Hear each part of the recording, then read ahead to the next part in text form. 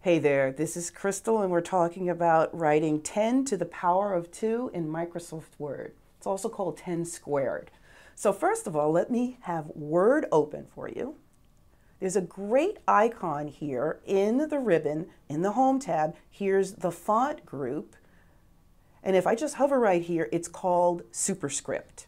So let me actually write the 10. And now I want the 2 to be just above the 10. That's where superscript comes in. So I just click right on it.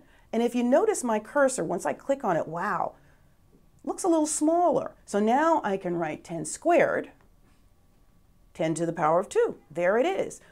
Something else you need to do. If I start typing now, all the rest of the text or any other numbers are going to be superscript because this little superscript is engaged. It's a toggle though. All I have to do is click on it again.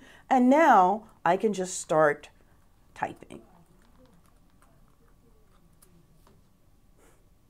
Wow, that was kind of nice, right? So that's 10 to the power of 2 in Microsoft Word. This is Crystal. See you soon.